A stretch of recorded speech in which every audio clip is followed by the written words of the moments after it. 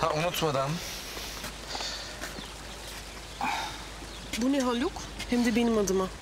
evet kredi kartı e, rahat rahat alışveriş yapın düşünmeden diye. Yok, yok, yok buna hiç gerek yok. Ben alayım Haluk abicim.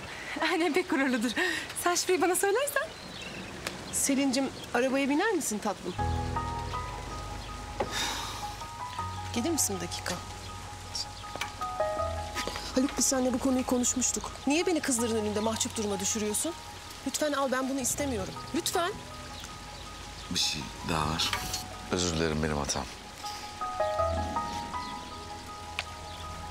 Affedersin.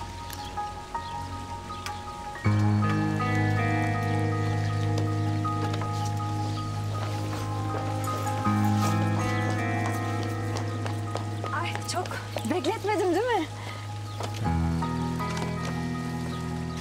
Hadi görüşürüz Haluk abi. İyi alışverişler.